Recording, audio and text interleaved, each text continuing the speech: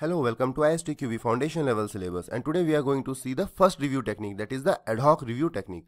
So let's start with our topic. So in ad hoc review technique, the reviewer has no guidelines given to him like what type of defect he has to find and how he has to find those defects. There is no guideline, no rule given to the reviewer.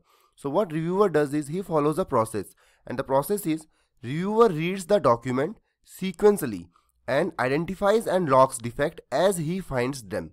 So whenever he, he, first of all document is given to him and what he will do is he will go through the document sequentially one by one he will see each line and then he whenever he is finding the defect he will log those defects at that particular time.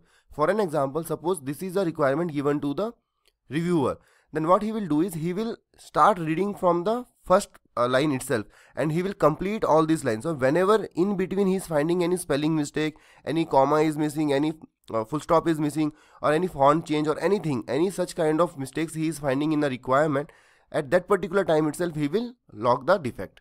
So that is what reviewer will do in a ad hoc review technique. So this type of process he will follow and then is com then comes the preparation. So what will be his preparation? Because there is no guideline given to him. So he does a very little preparation like what document he has to review mostly that he will come to know.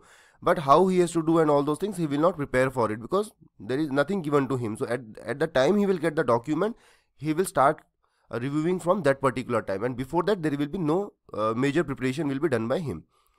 And then next one is the success factor of this review the, the success factor will depend upon the reviewer itself. So how experienced the reviewer is and how critical his eyes are to find the defects. So it totally depends upon the reviewer because there is no guideline given to him.